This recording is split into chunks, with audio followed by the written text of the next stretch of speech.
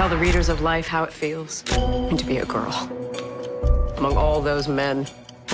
I don't mind it. Your character, Beth, in this show is a very complex character. Obviously, she has an insane talent for chess, but she has this really traumatic past. What mm-hmm. made you want to take on this role?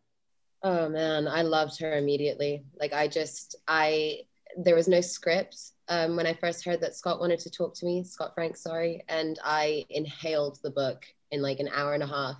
And I'm not a runner, but I ran to that meeting. Like the excitement level that I had of just how much I connected with this woman, how much I wanted to tell her story. And something that I think is really important is I did think I could tell it right. Chess isn't always competitive. Chess can also be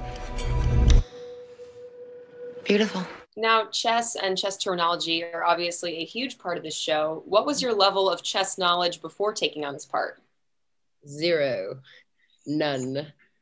I knew there were pieces, I knew there was a board. Um, but that's actually kind of what was awesome about getting to do this was that I got invited into a very secret world that's super cool and really interesting. A lot of the chess, especially the speed chess, was my favorite part of filming.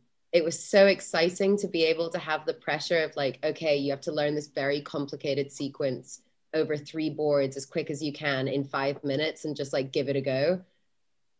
I loved it. It was like up there with the proudest I've ever been of something that my brain was able to do because I tricked myself into believing I was a really good chess player.